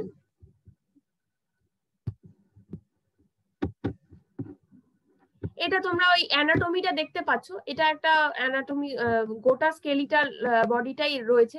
দেখো ইরেক্ট পশ্চারের জায়গা দিয়ে যখন আমরা ইরেক্ট পশ্চার করব, তখন তোমরা আরও ডিটেলস এটা বুঝতে পারবে যে, দেখো, কোনো তোমার যে এই রিপ রিপ কেজেসগুলো বা তোমার ফিমারটা বা এই তোমার ফ্যালেঞ্জেসগুলো, এগুলো খুব অমিল কিন্তু খুব একটা মডার্ন হিউম্যানের থেকে নেই। এরা কিন্তু কন্টেম্পোরারি পিরিয়ডে বিলং করতো হোমোস্যাপিয়েন্স নিয়ান্ডারথ্যালেন্সিস এবং আরও আরেকটা এখানে তোমার স্কালের এভিডেন্স দেওয়া হয়েছে, যেটুকু যেটুকু পাওয়া গেছিল আর কি তারই একটা এভিডেন্স এখানে দেওয়া আছে। এখানে আরেকটা তোমার দেয়া রয়েছে নিয়ান্দারথালের এই পোর্শনটুকু আর কি পাওয়া যায়নি পোর্শনটুকু মিসিং কারণ যখন আমরা ফসিল এভিডেন্সেস কালেক্ট করি, তখন যে গোটা সবটাই পেয়ে যাব এরকমটা সৌভাগ্য সবসময় হয়ে ওঠে না। কিছু কিছু পোর্শন হয়তো পাওয়া গেল না, কিছু কিছু ভেঙে গেছে বা মিসিং আছে, এরকম হয়েই থাকে। তো যতটা পাওয়া গেছে সেখান থেকেই রিকনস্ট্রাক্ট করার চেষ্টা করা হয়েছে। তো এটাও একটা এভিডেন্স আর কি। এবার হচ্ছে অ্যানাটমিক্যালি মডার্ন যে আর কি হোমোস্যাপিয়েন্স তার সাথে প্রোগ্রেসিভ নিয়ান্ডারথাল আমি যে বললাম না যে ক্লাসিক্যাল নিয়ান্ডারথালের সাথে হচ্ছে আর্কাইক হোমোস্যাপিয়েন্স কে আর কি জুড়ে দেওয়া হচ্ছে অ্যাসোসিয়েট করা হচ্ছে সেরকম ভাবেই মডার্ন হোমোস্যাপিয়েন্স এর সাথে কিন্তু প্রোগ্রেসিভ নিয়ান্ডারথালকে স্ল্যাশে রাখা হচ্ছে। মানে একই ধরা হচ্ছে আর কি। যেহেতু এতটাই মিল আছে আর কি। মিল বা অ্যাডভান্স অ্যাডভান্সমেন্টের দিক থেকে যদি দুটোকে কম্পেয়ার করি, অনেকটাই আর কি মিল দেখতে পাওয়া যাচ্ছে। তো এদের যেটা দেখা গেছিল মূলত ফসিল এভিডেন্সেস পাওয়া গেছিল মানে মোটামুটি থার্টি থাউজেন্ড ইয়ার্স বিপি এই টাইম পিরিয়ডটা এদের আর কি ডেটিং টাইম পিরিয়ড যেটা বলা হয় আর কি সেটা ছিল। তো এরপর মানে অ্যানাটমিক্যালি মডার্ন হোমোস্যাপিয়েন্স আর মানে এই যে পোর্শনগুলো আর কি বা তোমার ক্লাসিক মডার্ন হোমোস্যাপিয়েন্স বা কি বলব? প্রোগ্রেসিভ যেটা প্রোগ্রেসিভ নিয়ান্দারথাল সেটা মোটামুটি ইউরোপ, এশিয়া, আফ্রিকা, এই এই জায়গাগুলোতে মোটামুটি পাওয়া গেছিল। এছাড়া তোমার কিছু হোমিনিড যেটা হোমিনিড এভিডেন্সেস যেটা আর কি প্রিভিয়াসলি অস্ট্রেলিয়াতেও পাওয়া গেছিল। কিছু নিউ ওয়ার্ল্ড যেটা আর কি, আর নিউ ওয়ার্ল্ড এর মধ্যেও কিছু কিছু দেখতে পাওয়া গেছিল এছাড়া তোমার মোটামুটি ইথিওপিয়া ইথিওপিয়া একটা খুব আর কি গুরুত্বপূর্ণ সাইট সেখানে পাওয়া গেছিল আর কি ওমো, আর একটা সাইট এখানে one thirty thousand year BP এই টাইম রেঞ্জটা মোটামুটি ছিল মানে ডেটিং যেটা পিরিয়ড যেটা বলা হয় টাইমটা সেটা ছিল। লাটোলি, সেখানে মোটামুটি one twenty thousand years BP evidence পাওয়া গেছিল। লাটোলি আরও ইম্পর্টেন্ট সাইট কারণ লাটোলিতে কিন্তু কিছু ফুটপ্রিন্টের এভিডেন্স পাওয়া যায়। সেটা তোমরা পরে পরে মানে আর কি আরও ডিটেলসে কোনোদিন জানতে চাইলে জেনো। লাটোলিতে ফুড প্রিন্টে এভিডেন্স পাওয়া যায় এবং সেই এভিডেন্সটা এতটা ইম্পর্টেন্ট কারণ, তার কারণটা হচ্ছে ওই ফুটপ্রিন্টস আমরা যখন হাঁটি না, তখন আমাদের হাঁটাটা তোমরা লক্ষ্য করবে, কোনো একটা মানুষের হাঁটা লক্ষ্য করবে। সেই হাঁটার যে পশ্চারটা সেই পশ্চারটা কিন্তু ইরেক্ট পশ্চার এবং ইরেক্ট পশ্চারের এভিডেন্স প্রথম এই লাটোলি নামক এই সাইটটা থেকে পাওয়া গেছিল। মানে খুব সুন্দরভাবে ওই ফুটপ্রিন্টগুলো প্রিজার্ভ হয়ে গেছে। এবং যারা হেঁটেছে, অবশ্যই তারা ইরেক্ট পশ্চারটা অ্যাচিভ করেছিল। না হলে ওই ওইভাবে হাঁটা সম্ভব না বা ওইভাবে পায়ের ছাপ রেখে যাওয়া সম্ভব নয় আর কি। সেখান থেকে পাওয়া যায় যে ওই সময় কন্টেম্পোরারি পিরিয়ডে যারা বিলং করতো, তারা ইরেক্ট পশ্চার অ্যাচিভ করে ফেলেছিল। এটা একটা বিশাল বড় অ্যাচিভমেন্ট এবং এভিডেন্স এই জন্য লাটলি ফুটপ্রিন্ট একটা খুব বিখ্যাত মাইলস্টোন আর কি। তোমরা ইরেক্ট পশ্চার যখন পড়বে তখন হয়তো এই এই কথাটা উল্লেখ করব বা করতে পারি, কিন্তু তাও এটা যখন আর্কিওলজি পড়ছই, তো প্যালিও অ্যান্থ্রোপোলজি পড়ছই, তাহলে লাটলি সম্পর্কে একটু জানবে না, সেটা তো হয় না। তো এইটুকু তোমরা জানো মানে ওইটা বিখ্যাত ওই কারণেই ফুটপ্রিন্টের জন্য। আচ্ছা এবার হচ্ছে যেটা আরও যেটা পাওয়া গেছিল হিউম্যানস আর কি মোটা এভিডেন্সেস যেগুলো মোটামুটি অকুপাই করে রেখেছিল যেটা ক্লাসিয়ার রিভার আর কি যেটা সাউথ আফ্রিকাতে যেটা পাওয়া গেছিল ninety thousand CR BP time রেঞ্জটা এরকম কিছুটা ছিল। আচ্ছা তো এরপর যেটা আর কি, এখানে একটা মাউন্ট কার্মেল যেটা আর কি, বা টাবুন স্কাল টাবুন ম্যান বলেই বেশি জানা হয় আর কি। টাবুন ম্যান কিন্তু প্রোগ্রেসিভ নিয়ান্দার থালের মধ্যে পড়ে। তা সেটা ইসরায়েল থেকে পাওয়া গেছিল। এটাও একটা ফসিল এভিডেন্স বা অ্যানাটমিক্যাল কিছু এভিডেন্সেস পাওয়া গেছিল। সেটা dated ninety thousand CR BP এই টাইম পিরিয়ডটার মধ্যে তার আর কি ছিল মোটামুটি। এটা আর কি এটা ইয়ংগেস্ট আর্কাইক হোমোস্যাপিয়েন্স হিসেবেও আর কি ধরা হয় অনেক জায়গায়, কিন্তু আবার কন্ট্রোভার্সিও আছে এই নিয়ে। তো এইবার চলে আসছি যেটা অ্যানাটমিক্যালি মডার্ন হোমোস্যাপিয়েন্স যেটা হচ্ছে তোমার প্রোগ্রেসিভ নিয়ান্দার্থাল হিসেবে যাদেরকে আমরা চিনছি। তাদের কোথায় কোথায় পাওয়া গেছিল এবং তাদের কয়েকটা এক্সাম্পল যেরকম ভাবে আগেরটা দিলাম তোমার ক্লাসিক্যাল একটা দিলাম, ঠিক একইভাবে এখানে চার্ট করা আছে কোথায়, কোন ফসিল এভিডেন্সটা পাওয়া গেছিল। এখানে তোমার জার্মানিতে স্টেইনিয়াম আছে উজবেকিস্তানে তোমার তেশিক তাস আছে, ইসরায়েল। ইসরায়েলটা খুব ইম্পর্টেন্ট জায়গা, এখানে মাউন্ট ক্যারমেল, এই ফসিলটা ভীষণ ইম্পর্টেন্ট এটা তোমাদের বলতেই হবে। ক্লাসিক্যাল তোমার প্রোগ্রেসিভ নিয়ান্দার্থাল হিসেবে যদি তোমরা এক্সাম্পল দিতে চাও, বা সেইখানে কিন্তু তোমাদেরকে এই নামটা অবশ্যই মেনশন করতে হবে, টাবুন অ্যান্ড স্কাল। এই মাউন্ট ক্যারামেল স্পেসিমেন দিয়ে ব্র্যাকেটে এই কথাটা লিখতে হবে বা অনেক সময় শর্ট নোটেও তোমরা এই টার্মটা পেতে পারো তাই জন্যই বলছি বারবার যে এই টার্মটা মনে রেখো। বাকি যে কটা তোমরা মনে রাখতে পারো সে কটা তোমরা মনে রেখো কিন্তু এইটা অবশ্যই মনে রেখো। এক্সাম্পল হিসেবে সব জায়গায় তোমরা ব্যবহার করতে পারবে। কোন জায়গায় পাওয়া গেছিল? এই হ্যাঁ, এই যে টার্মগুলো আছে এগুলোকে বিভিন্ন দেশের যেমন ভাষা সেই রকম ভাবে তৈরি তো? হ্যাঁ আমি একটু আগেই বললাম তোমাদের যে যেখান থেকে তোমার ফসিল এভিডেন্সেসগুলো পাওয়া গেছিল নিয়ারেস্ট হয় কোনো রিভারের নাম অনুযায়ী সেই ফসিলের নামকরণটা হয়েছিল? অথবা হয়তো সেই জায়গাটার নাম ছিল সেই জায়গাটার নাম থেকে সেই ফসিলসটার নামকরণ ওরকম ভাবে হয়েছিল। যেমন লা চ্যাপেলা। সেন্টক্স ওটা হচ্ছে লা চ্যাপেলাটা ফ্রান্সের একটা জায়গার নাম। সেখান থেকেই লা চ্যাপেলা সেন্টক্স টা পাওয়া গেছিল আর কি ফসিলসটা সেই জন্য ওর নামটা ওইটা হয়েছিল। মানে আর যেমন হ্যাঁ? এত নাম মনে রাখা প্রবলেম তো। নাম তো মনে রাখতেই হবে এটা তোমার কিছু করার নেই। দেখো নিয়ান্ডারথাল তুমি পড়ছো বা তুমি প্যালিও অ্যান্থ্রোপোলজি পড়ছো তোমাকে নামটা অবশ্যই মনে রাখতে হবে। এর কোনো অপশন নেই। এটা তোমাকে চার্ট আচ্ছা। করতে হবে চার্ট করে বাক করে লিখতে হবে যে হ্যাঁ এটা আমার নিয়ান্দারথাল ক্লাসিক্যালের মধ্যে পড়ছে এটা আমার নিয়ান্দারথাল প্রোগ্রেসিভের মধ্যে পড়ছে। আমি ডিভাইড করে নিলাম। ডিভাইড করে নিয়ে আমি এবার সেই নামগুলো এবার মেনশন করলাম জায়গাটার নাম দিয়ে পর পর পর পর ফসিল এভিডেন্সগুলো লিখে আমাকে প্র্যাকটিস করতে হবে। এটার এছাড়া কোনো অপশন নেই এটার। ঠিক ঠিক। এবার যে কটা তোমরা মনে রাখতে পারবে হায়েস্ট সে কটা মনে রাখো আমি জায়গা অনুযায়ী চার্ট করে ভাগ করে দিয়েছি যার জন্য যে তোমাদের যাতে খুঁজতে না হয়। কোনটা পড়ব আচ্ছা। কোনটা পড়ব না এই বিষয়টা যেন এই কনফিউশনের জায়গাটা যেন না থাকে। তো সেই জন্যই করে দিয়েছি। আর বলেও দিচ্ছি যে কোনটা বেশি ইম্পর্টেন্ট কোন নামটা বেশি জরুরি সেই জায়গাটাও আমি বলে দিচ্ছি।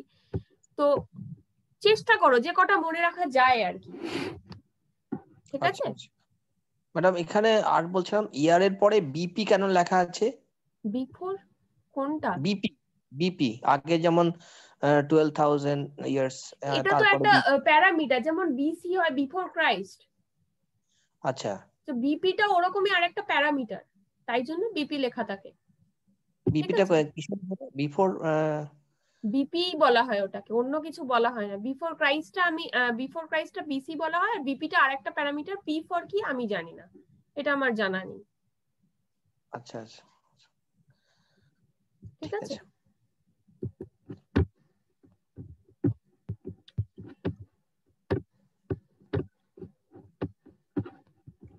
আচ্ছা। আচ্ছা যেটা আসছিলাম যে এই যে টাবুন ম্যান টাবুন ম্যান যেটা টাবুন কেভ থেকে এটা পাওয়া গেছিল মাউন্ট কার্মেল যেটা ইসরায়েলে অবস্থিত। সেই জায়গাটা থেকে এই তোমার অ্যানাটমিক্যাল যে বিভিন্ন পার্টসগুলো সেগুলো বা স্কেলিটাল পার্টসগুলো সেইগুলো আর কি পাওয়া গেছিল। তেইশটা ইন্ডিভিজুয়াল স্কেলিটাল পার্ট মোটামুটি পাওয়া গেছিল। তার মধ্যে থেকে একটা বাচ্চার স্কেলিটাল রিমেন্স সেখান থেকে পাওয়া গেছিল। সেই জন্য টাবুন কেভ যেটা, তাই জন্য টাবুন ম্যান ওটাকে টাবুন ম্যান হিসেবেও অনেক সময় মেনশন করা হয়, হয়ে থাকে। তো সেইখান থেকেই কিন্তু টাবুন ম্যান হিসেবেই তোমাদের আসতে পারে, আসতে গেলেও। আর এটা তোমরা এক্সাম্পল হিসেবে অবশ্যই ইউজ করবে, কারণ এখান থেকে একটা হিউজ অ্যামাউন্ট অফ মেটেরিয়ালস বা স্কেলিটাল মেটেরিয়াল সেটা অনেকটাই পাওয়া গেছিল। তাই জন্য এটা এত বেশি ইম্পর্টেন্ট আচ্ছা। এখানে তোমার কালেকটিভ কালেকটিভ বিউরিয়াল এটা কিন্তু এখান থেকে পাওয়া গেছিল আর কি। আর কালেকটিভ বিউরিয়াল কনসেপ্টটা কিন্তু মানে নিয়ান্দারথালদের মধ্যে কিন্তু বিউরিয়াল কনসেপ্টটা কনসেপশনটা ছিল। কারণ এরা অনেকটাই বেশি অ্যাডভান্স ছিল। হোমো স্যাপিয়েন্স স্যাপিয়েন্স এর মতোই অ্যাডভান্স ছিল বা কিছুটা হয়তো তাদের থেকে একটু হলেও হয়তো বেশি ছিল। কোনো কোনো পয়েন্টে বেশি ছিল। তো তার জন্য তাদের ওই অ্যাবস্ট্রাক্ট থিঙ্কিং এর জায়গাটা কিন্তু ছিল। এবং অ্যাবস্ট্রাক্ট থিঙ্কিং এর জায়গাটা যেহেতু ছিল, তাদের মধ্যে একটা আফটার ডেথ যে লাইফ বা রিবার্থের একটা কনসেপ্ট তাদের মধ্যে ছিল। তাই জন্য যখন কেউ মারা যেত, তাদের, তারা কিন্তু বারিড করত, তাদেরকে কবর দিত। এবং কবর দেওয়ার শুধু তারা সেখানে এভিডেন্সও পাওয়া গেছে, এমনকি একটা বডি সেটা স্কেলিটাল রিমেন আর কি পরে, পরবর্তীকালে পাওয়া গেছে, সেটা শোয়ানো আছে এবং তার চারপাশে রেড অকারের এভিডেন্স পাওয়া গেছে। মানে ফুলের পোলের এভিডেন্স পাওয়া গেছে সেখান থেকে। তো এটার থেকে বোঝা যায় যে একটা বডি ডেড বডির কাছে যখন ফুলের পোলের এভিডেন্সেস পাওয়া যায়, তার থেকে বোঝা যায় যে তার, তাদের মধ্যে কিছু রিজিয়াস মানে রিলিজিয়াস অ্যাক্টিভিটির কিছু ব্যাপার ছিল। তার জন্যই কিন্তু এই এভিডেন্সেসগুলো পাওয়া গেছিল। এটাই কিন্তু একটা অ্যাবস্ট্রাক্টনেস এর পরিচয় দেয় বা সাক্ষ্য বহন করে যে তারা এই, তারা ওই ফ্রিকোয়েন্সিটা দিয়ে চলতো বা এই টাইম পিরিয়ডে এই প্র্যাকটিসেসগুলো হতো। তো এটাও একটা ওই, তারই এক্সাম্পল যেটা বলা যায়। এখানে আবার কালেকটিভ বিউরিয়ালের কথা বলা হচ্ছে। একটা নয়, একাধিক বারিড কিছু স্কেলিটাল রিমেন্স ওখানে পাওয়া গেছিল আর কি। এটা nineteen thirty one nineteen thirty six একটা এক্সপিডিশন হয়েছিল এই টাইম পিরিয়ডের মধ্যে, তখনই এটা আর কি ডিসকভার করা হয়েছিল। এছাড়াও তোমার হচ্ছে যেটা একটা স্যার আর্থার কেই একটা একটা এক্সপিডিশন করেছিল, সেখান থেকেও কিছু স্কেলিটাল রিমেন্স আর কি পাওয়া গেছিল, সেটা নাইনটিন থার্টি টু তে হয়েছিল। তো এইটা হচ্ছে গেল তোমার মানে এটাই তোমার প্রোগ্রেসিভ নিয়ান্দারথাল যেটা আর কি, সেটাই কন্টিনিউ করছে। এটার তার মধ্যে লাশ অ্যাপেলা একটা পড়ছে মানে যেটা আর মডার্ন হিউম্যানস কিছুটা পড়ছে মাউন্ট কার্মেল এর কিছু পড়ছে। তাবুন ম্যান যেটা এতক্ষণ বললাম, সেটার কিছু এভিডেন্সেস পাওয়া যাচ্ছে মানে মানে নিয়ান্দারথাল এভিডেন্সেস আর কি নিয়ান্দারথাল ফিচার্স এবং সেটা মডার্ন বা ক্লাসিক্যাল এর মধ্যেই পড়ছে। তো, এটা হচ্ছে একটা ব্যাপার যে টাবুন ম্যান মানে সেটা হচ্ছে মূলত যেটা বিলং করতো, যে কালচারাল পিরিয়ডের মধ্যে বিলং করতো স্কুল আর টাবুন ম্যান এরা মুস্তেরিয়ান কালচার ফেজের সাথেই রিলেট করা যায় এদের। কিন্তু আমি আরও স্পেসিফিক্যালি যদি বলতে চাই, তাহলে সেটা লেভালো মুস্তেরিয়ান কালচারাল ফেজের সাথেই বেশি বেশি রিলেট করা যায়। এবার লেভালিশিয়ান কালচার সেটা আমি তোমার যখন লোয়ার প্যালিলিথিকের কথা বলেছিলাম, তখন বলেছিলাম যে লেভেলেশিয়ান এই টার্মটা কিন্তু লোয়ার প্যালিলিথিকের সাথে রিলেটেড একটা টার্ম। আর আমরা যখন এই পিরিয়ডগুলো পড়ি, অনেক সময় এই পিরিয়ডগুলো ওভারল্যাপ করে যায়। তো তো যেটা হয় যে একটা পিরিয়ড চলছে মানে সেই পিরিয়ডটা স্টপ হয়ে গেল সেরকম নয়। তারপরে আবার আরেকটা পিরিয়ড শুরু হচ্ছে ঠিকই, কিন্তু দুটোর মধ্যে একটা ওভারল্যাপিং টাইমও কিন্তু থাকে।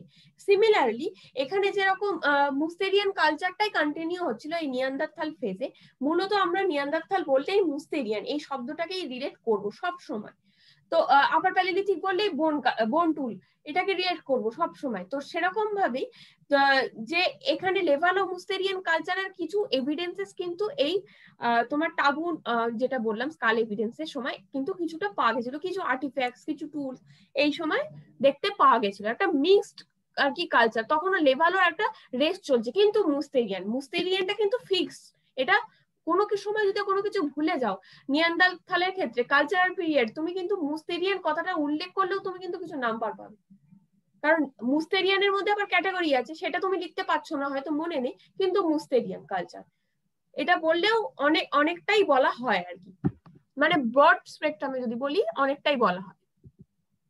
এটা তোমার একটা হচ্ছে মানে প্রোগ্রেসিভ নিয়ান্দারথালের একটা এভিডেন্স আর কি স্কালের এভিডেন্স আরও তোমরা দেখছ অনেক বেশি কি বলব? অ্যাডভান্স যেটাকে বলা যায় আর কি ফিচার্স এর দিক থেকে অনেকটাই। তো এই হচ্ছে মোটামুটি আমার নিয়ান্দার থাল ছিল মানে প্রোগ্রেসিভ নিয়ান্দার থাল আর ক্লাসিক্যাল নিয়ান্দার থালের ডিফারেন্সেস মোটামুটি একটা নিয়ান্দার থালের ফিচার্স কোন কালচারাল এজে তারা বিলং করতো তাদের মানে কোন গ্লেসিয়েশন পিরিয়ডটা ছিল তাদের মোটামুটি কি এভিডেন্সেস পাওয়া গেছিল? কোথায় কোথায় এর আর কি কোন কোন সাইটে আর কি এদেরকে দেখতে পাওয়া যে মোটামুটি এক্সপ্লোর হয়েছে বা এক্সক্যাভেটেড হয়েছে? এটাই ছিল নিয়ান্দারথালের পুরো ব্যাপার। এবার বলো তোমাদের কোনো প্রশ্ন আছে এটা নিয়ে?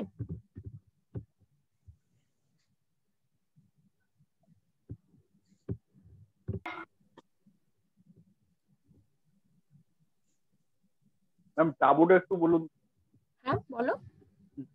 টাবুন ওই টাবুটা হ্যাঁ? টাবুনটা হচ্ছে একটা স্কেলিটাল রিমেন ঠিক আছে? একটা স্কেলিটাল রিমেন যেটা হচ্ছে বা স্কেলিটাল এভিডেন্স যেটা পাওয়া গেছিল তোমার টাবুন বলে যে জায়গাটা আমি যে কথাটা তোমাদের মেনশন করলাম আর কি সেটা এটা কিন্তু তোমার মডার্ন যেটা বললাম বা প্রোগ্রেসিভ নিয়ান্দারথালের মধ্যেই কিন্তু পড়ছে এটা। ঠিক আছে? টাবুন ম্যান তোমরা এটা আরও ডিটেলসে পড়বে বা এর অ্যানাটমিক্যাল ফিচার্সগুলো আরও ডিটেলসে হয়তো মানে জানবে। কিন্তু এটা তুমি মূলত এখন যে জিনিসটা মাথায় রাখো সেটা হচ্ছে এটা হচ্ছে ক্লাসিক্যাল নিয়ান্দারথাল নয় কিন্তু এটা কিন্তু প্রোগ্রেসিভ নিয়ান্দারথাল এই ক্যাটাগরির মধ্যে কিন্তু এটা পড়ছে। ঠিক আছে?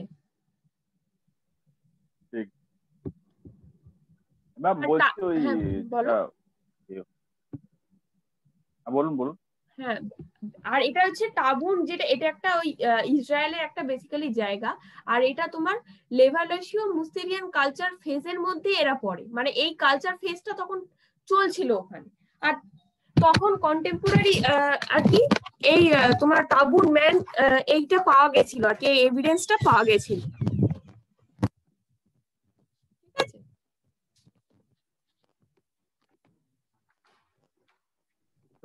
homo sapiens sapiens homo Neander homo Neanderthal যেটা হলো যেটা মোস্টেলিয়ান পিরিয়ড মিডিল প্যালেলিথিকের শেষের দিকে আর আপার প্যালেলিথিকের বিগিনিং এ তাই হোমো স্যাপিয়েন্স স্যাপিয়েন্স এটা টাইম টাইম পিরিয়ডটা কখন এক্সাক্ট টাইম পিরিয়ড দেখো আমি আজকে একদম ডেফিনেট তোমাকে বলে দিতে পারব না যে এই সময় থেকে একেবারে এই জিনিসটা পাওয়া গেছিল। ডেটিং যখন আমি তোমাদের পড়িয়েছিলাম আমি তোমাদের বলেছিলাম বলো। মানে তুমি বলছো এক্সাক্ট টাইম পিরিয়ড থেকে দেখা শুরু হয়েছিল। রেঞ্জ বলছো তো? তোমার মোটামুটি ধরো আপার প্যালিলিথিকের টাইম পিরিয়ড থেকেই যখন নিয়ান্দারথাল ফুল দমে এক্সিস্ট করছে মানে মিডিল প্যালিলিথিকের শেষ থেকে আপার প্যালিলিথিকের শুরু, এই টাইম পিরিয়ডটায় তোমার নিয়ান্দারথালের যাতায়াত ছিল, ঠিক আছে? এবার হোমোস্যাপিয়েন্স স্যাপিয়েন্স এরা দেখা যাচ্ছে কিন্তু তোমার মডার্ন মানে মডার্ন যে নিয়ান্দারথাল বা প্রোগ্রেসিভ নিয়ান্দারথাল তাদের সাথে কিন্তু এদেরকে কন্টেম্পোরারি করা হচ্ছে। আর্কাইক হোমোসাপিয়েন্স এর সাথে কিন্তু এদেরকে কন্টেম্পোরারি করা হচ্ছে না। বুঝতে পেরেছ? আমি কি বলতে চাইছি? আমি যেটা বলতে চাইছি যে এটা কিন্তু মূলত আপার প্যালিলিথিক পিরিয়ডে হোমো স্যাপিয়েন্স স্যাপিয়েন্স এই স্ট্যাটাসটা অনেক বেশি ভিজিবল হলো।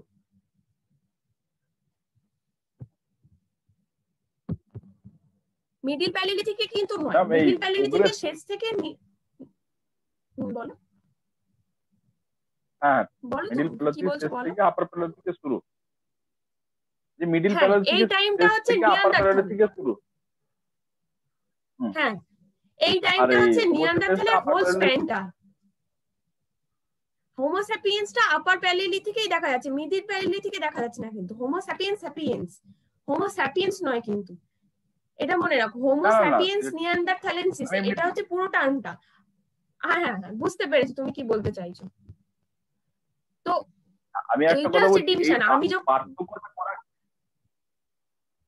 হ্যাঁ বলো।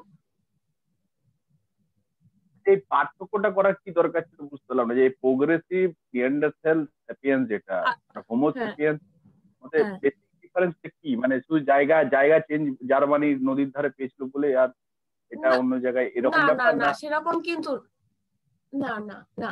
দেখো নিয়ান্ডারথালের যে এই যে দুটো ক্যাটাগরি করা একটা হচ্ছে তোমার ক্লাসিক্যাল আর একটা হচ্ছে প্রোগ্রেসিভ এই দুটো ক্যাটাগরি করা হয়েছে তার কারণটা হচ্ছে এর রেঞ্জটা হিউজ হয়ে যাচ্ছে।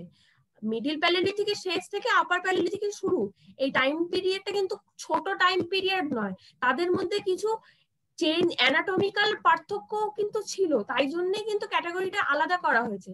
যেটা পুরনো মানে ওল্ড যেটা, বা কনজারভেটিভ যা সেইটা হচ্ছে তোমার পাস মানে সেটা আর্কাইক হোমোস্যাপিয়েন্স এর সাথে তুলনা করা হচ্ছে। আমি কিন্তু স্ল্যাশে আর্কাইক হোমোস্যাপিয়েন্স বলছি। আর যেটা ক্লাসিক্যাল মানে সেটাকে ক্লাসিক্যালও বলছি। আর যেটা মডার্ন নিয়ান্ডারথাল মডার্ন নিয়ান্ডারথালের সাথে কিন্তু হোমোস্যাপিয়েন্স স্যাপিয়েন্সকেই কম্পেয়ার করছি। কারণ এটা কিন্তু তাদের চেঞ্জেস আছে। তাদের অ্যানাটমিক্যাল চেঞ্জেস বা অ্যাডভান্সমেন্ট কিছু আছে। তাই জন্য কিন্তু দুটো ক্যাটাগরিতে ভাগ করা হয়েছে। আদারওয়াইজ কিন্তু করা হতো না। আর টাইম পিরিয়ডেরও পার্থক্য আছে। তোমার শুনতে লাগছে এটা মিডিল থেকে আপার এই টাইম পিরিয়ডের মধ্যেই হবে। কিন্তু ব্যাপারটা অতটাও ছোট নয় যে আমরা অতটা ইজিলি ওটাকে একটা মানে একটা খাপে ফেলে দিতে পারি, সেরকমটা হয় না। দুটো পকেট আমাদের ভাগ করতে হচ্ছেই। তাদের বিভিন্ন ফিচার্স এর জন্য মানে এনভায়রনমেন্টাল কন্ডিশন বলতে পারো বায়োলজিক্যাল যে ফিচার্সগুলো, সেটাও পরিবর্তন আছে, সেটাও বলতে পারো। আর একটা যেটা কালচারাল কালচারাল ডিফারেন্সটাও কিন্তু আছে মানে কালচারাল পিরিয়ডের ডিফারেন্সও কিন্তু আছে। ঠিক আছে? আমি বলছি না। আমি বলতে চাইছি প্রোগ্রেসিভ যেটা আপনার হোমোসেপ হোমো নিয়ান্ডারসেল যেটা বলছি প্রোগ্রেসিভ ক্লাসিক্যালটা আর কি এক ঠিক আছে ওটা ছিল। প্রোগ্রেসিভের সঙ্গে সঙ্গে তো সমকালীন তো বলছেন হোমোস্যাপিয়েন্স এর উদ্ভব হয়েছিল। সমকালীন। হ্যাঁ হ্যাঁ হ্যাঁ। হ্যাঁ এটাকে পার্থক্য করার কি দরকার ছিল? মানে প্রায় করোটি যখন একই আছে সবকিছু মানে এটা কোনো মানে না একই নেই একই না না না এটাই এটাও হচ্ছে আরেকটা ব্যাপার যে একই কিন্তু নেই একই দেখতে লাগছে। তুমি এখানে একটা ছবি দেখো এই স্কালের যে ছবিটা তোমরা দেখতে পাচ্ছ এটা তোমার দেখে মনে হচ্ছে একই মানে মডার্ন হিউম্যানের সাথে একই আমি কেন আলাদা করতে যাব? কিন্তু একই নয় এদের ক্রেনিয়াল ক্যাপাসিটি আলাদা modern human homo sapiens sapiens যে স্ট্যাটাসটা তাদের ক্রেনিয়াল ক্যাপাসিটি কিন্তু আলাদা। দুটো কিন্তু এক নয়। এরা কিন্তু নিয়ান্ডারথাল কিন্তু সম্পূর্ণভাবে ইরেক্ট পশ্চারটা অ্যাচিভ করেনি, যেটা আমার হোমোস্যাপিয়েন্স স্যাপিয়েন্স অ্যাচিভ করেছে। নিয়ান্ডারথালের ল্যাঙ্গুয়েজ কিন্তু কিছু ছিল না, যেটা হোমোস্যাপিয়েন্স স্যাপিয়েন্স এর আছে। প্রপার ল্যাঙ্গুয়েজ তারা কিন্তু কথা বলে, তারা বায়োলজিক্যাল অ্যাট্রিবিউটস যেগুলো, সেগুলো অ্যাচিভ করেছে বলেই কিন্তু তাদের মধ্যে এত বেশি এত বেশি তারা অ্যাডভান্স হয়েছে বা অ্যাডভান্সমেন্টটা দেখতে পেয়েছে, তাই জন্য তার হোমোস্যাপিয়েন্স স্যাপিয়েন্স হয়েছে। কিন্তু নিয়ান্ডারথাল এখানেই এক্সটিং করে গেছে। এরপরে কিন্তু এরা আর এগোয়নি। এই যে তোমরা মানে যেটা আর কি মডার্ন যে নিয়ান্ডারথাল বা প্রোগ্রেসিভ নিয়ান্ডারথাল যেটা বলছো, সেটা কিন্তু এক্সটিং করে গেছে, ওইখানেই থেমে গেছে। তারা কিন্তু হোমোস্যাপিয়েন্স স্যাপিয়েন্স এর মতো ইভলভ আর করে যায়নি। তারা এগিয়ে কিন্তু আর যায়নি। থেমে গেছে ওখানে। বুঝতে পারছ? আমি কি বলতে চাইছি? পার্থক্য অনেকটাই আছে। ব্যাপারটা বুঝে গেছি বোঝার কিছু নেই। কিন্তু মানে না কনফিউশন থাকলে বল। সমকালীন মানে এক্সিস্ট করছে তখন দুটো শাখা এক্সিস্ট করছে কিন্তু তার মানে এটা নয় যে দুটো এক দুটো জিনিস এক সেরকমটা কিন্তু নয়। ম্যাডাম হোমোসেপিয়েন্স একটা জীবাশ্ম তো ফসিল তো? হ্যাঁ? না না তুমি বুঝতে অসুবিধা হচ্ছে। হোমোস্যাপিয়েন্স কোনো ফসিল নয়। হোমোস্যাপিয়েন্স স্যাপিয়েন্স সেটা তো চলছে সেটা আমরা তো বেঁচে আছি। আমরা তো হোমোস্যাপিয়েন্স নাকি? আমরা ফসিল কি করে হব? ও আচ্ছা পুরো মানে আগেকার দিনে সেই এইগুলো মানে এক একটা যুগের টাইমে যে বিভিন্ন রকম স্কেলিটালগুলো পাওয়া গেছিল ওইগুলোকে নিয়ে অ্যানালাইসিস করা হচ্ছে তাই তো? হ্যাঁ।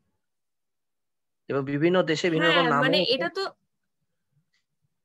চালু আছে না এটা নিয়ান পার্টিকুলার এটা নিয়ান্ডারথাল নিয়ে আমরা আজকে আলোচনা করেছি। এরকম কিন্তু আরও অনেক আছে যেটা আমি কন্টেম্পোরারি মিডিল প্যালিথিকের সাথে কানেক্ট করে এই নিয়ান্ডারথালটা নিয়ে ডিসকাশনটা করেছি। তোমাকে আচ্ছা। কিন্তু প্রিভিয়াস ক্লাসগুলো শুনতে হবে না হলে তুমি বুঝতে পারবে না আমি এক্স্যাক্টলি কি বলতে চাইছি। হ্যাঁ, হ্যাঁ কোনটার সাথে কানেক্ট করতে চাইছি। বুঝতে পেরেছি।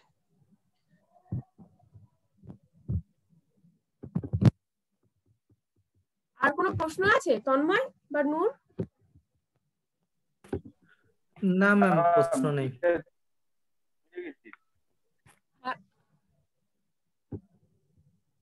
ক্লিয়ার তো পুরো ব্যাপারটা? হ্যাঁ ম্যাম হ্যাঁ ম্যাম ঠিক আছে ঠিক আছে তাহলে আমি অ্যাসাইনমেন্ট কিন্তু এই উইকে দেব ঠিক আছে? আর অ্যাসাইনমেন্ট যেটা দেব সেটা আমি কিন্তু কালচার থেকে দেব নিয়ান্দারথাল থেকে দেব না কিন্তু। ঠিক আছে? কালচার যেগুলো পড়িয়েছি আপার মিডিল না কালচার কিন্তু এখনও বাকি আছে কালচার থেকে আমি কোনো অ্যাসাইনমেন্ট দিইনি এখনও। কালচারের অ্যাসাইনমেন্টগুলো আমি দেব তারপরে আমি নিয়ান্দারথালটা দেব। তাহলে কটা অ্যাসাইনমেন্ট দেব? সেটা সেটা বলো। যদি বলো যে না দুটোই একসাথে দিন সেটাও আমি দিতে পারি। কিন্তু তোমরা কমপ্লিট করে দিতে পারবে তো? আমাকে সেটা বলো। পরে নেক্সট স্যাটারডে এর মধ্যে। আমি বলছি না যে না ম্যাম একটা একটাই থাকবে ম্যাম একটাই থাক। একটাই থাক একটাই থাকছে। তাহলে আমি কালচার হ্যাঁ। থেকেই দেব। ঠিক আছে? পর পরই চলবে। কালচার থেকে হয়তো হ্যাঁ, হ্যাঁ কালচার থেকে দেব দুটো কোয়েশ্চেন দেব কিন্তু। অ্যাসাইনমেন্ট দিলেও দুটো কোয়েশ্চেন দেব একটা নয়। কারণ ওটা অনেকটা পোর্শন একসাথে কভার করা আছে। হ্যাঁ বলো।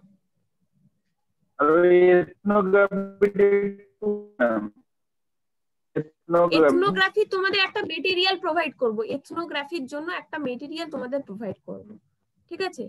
সেটা দেখে তোমরা এথনোগ্রাফি কি জিনিসটা সম্পর্কে আগে একটু পরিচিত হও, তারপর আমার মনে তোমরা ওই অ্যান্সারটা লিখতে পারবে। ঠিক আছে?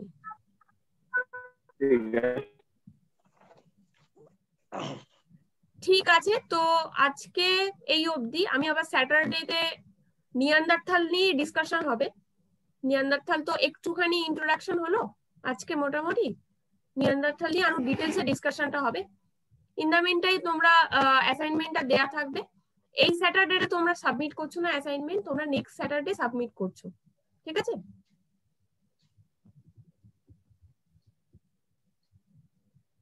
ঠিক আছে। তাহলে আজ এই অবধি।